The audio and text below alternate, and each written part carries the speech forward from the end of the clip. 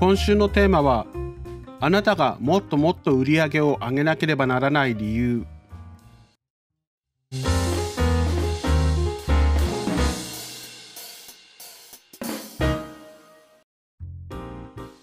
厳しい営業の現場を想像してください。多くの方は営業部の経験などはないでしょうからテレビドラマなどで見かける営業会議や営業部の朝礼などを思い出すと良いでしょう。そうホワイトボードやグラフが書かれた壁の前でできない営業マンが上司に怒られている場面です。もっと契約を取ってこい。お前の仕事は契約を取ることだ。今月の契約数はまだゼロだぞ。このような場面です。あまり良い感じはしないでしょうし怒られている営業マンを見て理不尽な気持ちになることもあるでしょう。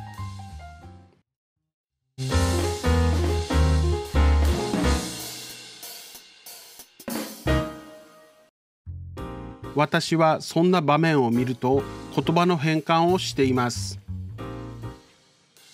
もっと契約を取ってこいはもっとお客様を喜ばせてこい。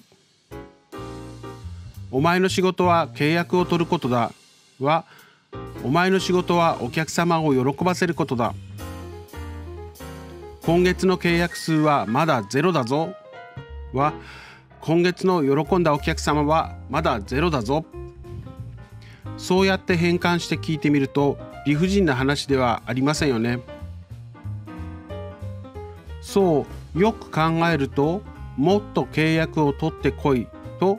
もっとお客様を喜ばせてこいは全く同じことなのです。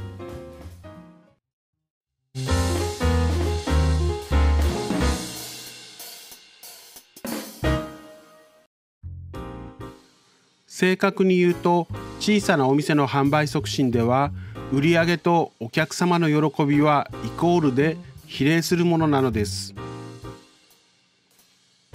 あなたが仕事をしてもお客様に喜んでいただけないという状況ならば根本的に仕事を見直す必要がありますね。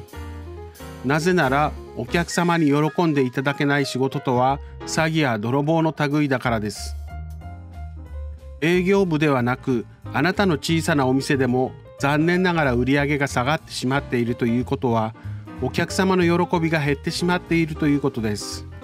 そんな時には売上という数字を追うのではなくもっともっとお客様に喜んでもらわなければと考えてみてください